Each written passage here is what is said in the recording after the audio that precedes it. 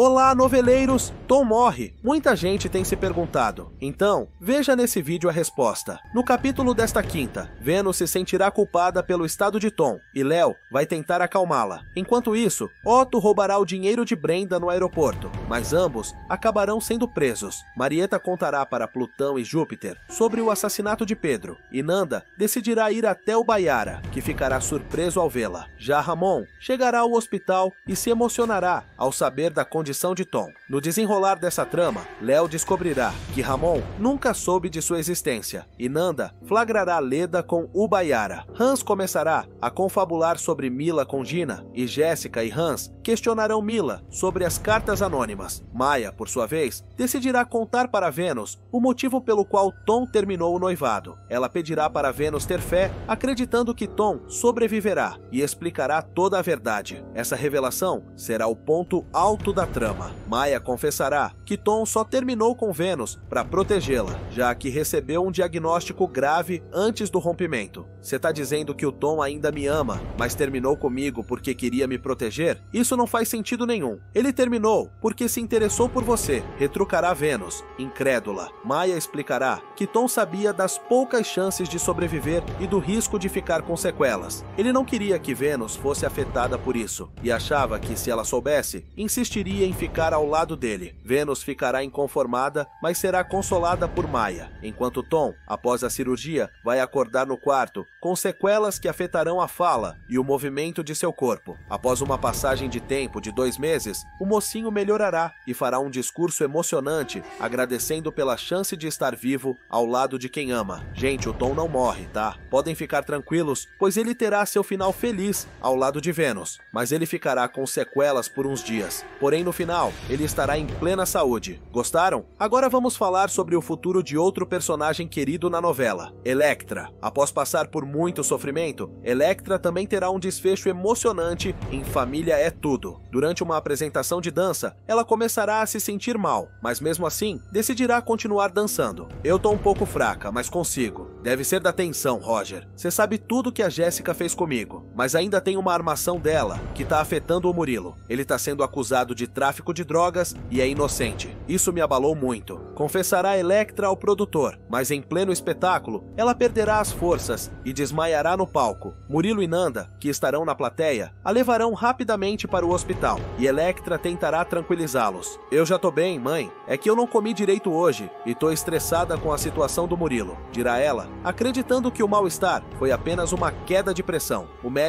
chegará com as notícias. Na tomografia, não saiu nada grave, afirmará ele, aliviando um pouco a tensão. No entanto, o que ninguém esperava era a revelação seguinte. E o melhor, está tudo bem com o bebê. O que? Electra grávida? Ela ficará em choque. Que bebê, doutor? Eu não tô grávida, dirá confusa. O médico explicará que ao fazer os exames, viu que Electra estava grávida. Eu fiz a coleta de sangue para investigar além da queda de pressão. E, bem, uma mulher em idade fértil, não podíamos descartar a hipótese de gravidez, dirá ele. Então você tá dizendo que eu vou ser mãe? Você ouviu, Murilo? Zrenia perguntará a Electra, emocionada. O médico sugerirá uma ultrassonografia para confirmar com quantas semanas ela está, mas deixará o casal comemorar a notícia. Murilo não esconderá a felicidade. Electra, a gente vai ter um bebê. Eu vou ser pai. Eu sempre sonhei com isso. A emoção vai tomar conta dos dois. Eu não tô acreditando. Murilo, eu tô explodindo de felicidade. Zrenia dirá Electra radiante. Ele então profetizará. Se acostuma, porque a gente vai ser a família mais feliz desse mundo. No final da trama, Electra dará à luz uma menina, que se chamará Denise. Olá, noveleiros! Se preparem porque o clima em família é tudo vai ficar tenso. Electra e Jéssica vão protagonizar uma briga que vai deixar a vilã marcada para sempre. Tudo começa quando essas duas rivais finalmente resolvem acertar as contas. Durante o confronto, as duas trocam acusações e o que era apenas uma troca de farpas vira uma briga física, cheia de empurrões, chutes e até uma sapatada daquelas. A irmã de Vênus não vai pegar leve e jogará a rival contra um espelho. O espelho espelho vai se quebrar e, para piorar, vai cortar o rosto de Jéssica. Ela ficará furiosa ao perceber que seu rosto poderá carregar essa cicatriz pelo resto da vida. E aí, galera, vocês acham que Electra foi longe demais ou Jéssica merecia essa lição? Me conta nos comentários. Quero saber a opinião de vocês. E claro, já deixa aquele gostei e se inscreve no canal para não perder nenhum detalhe das próximas emoções. As cenas dessa briga de tirar o fôlego estão previstas para irem ao ar no capítulo do dia 17 de setembro.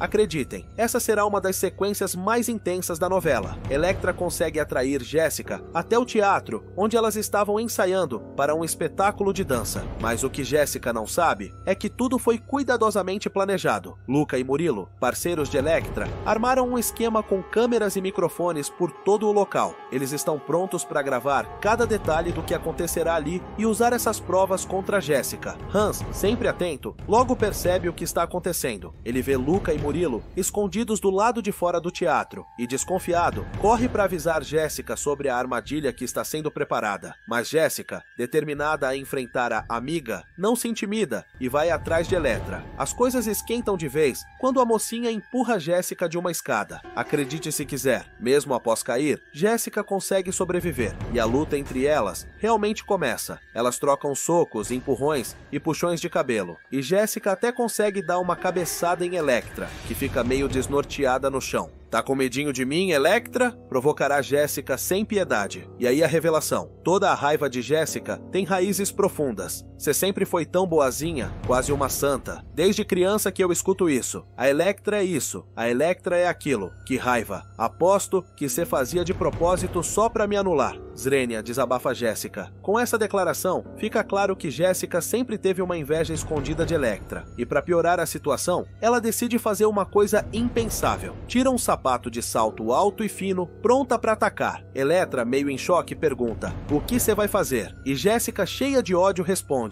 Vou fazer você sofrer antes de te matar. Vocês acham que esse ódio todo da Jéssica é justificado? Vocês torcem por uma virada nessa história? O pior ainda está por vir. Jéssica dá uma sapatada no rosto de Eletra, que grita de dor, mas não deixa barato. Electra reage com um chute na barriga da rival, derrubando-a. Eu vim preparada para a guerra, Jéssica. Não sou tão ingênua como você pensa e a luta continua, cada vez mais intensa. As duas continuam trocando socos, até que Electra joga Jéssica de cara em um espelho, que se despedaça. Os pedaços cortam o rosto de Jéssica, deixando-a ensanguentada. Furiosa, Jéssica grita: Olha o que você fez comigo! Olha o meu rosto. Se eu vou ficar marcada, você também vai. Eu vou cortar todo esse teu rostinho lindo. Ela pega um pedaço grande de vidro e corre atrás de Electra, determinada a se vingar. Mas o que Jéssica não esperava é que a ajuda de Electra estava chegando. Hans liga para avisar que Luca e Murilo conseguiram despistar o capanga dele e estão voltando para resgatar Electra. Jéssica tenta escapar, mas a polícia já está cercando o local e ela acaba presa em flagrante na saída. Acham que Jéssica merece terminar a novela presa? Ou essa surra e a marca já basta? Comentem! Esses capítulos prometem muita emoção e tensão, então não percam. Veja mais vídeos clicando no link que aparece na tela. Até a próxima, noveleiros! Quer receber os próximos vídeos? Basta deixar um gostei e se inscrever. Canal Telenovela agradece. Obsessão. Vida complicada, amor proibido.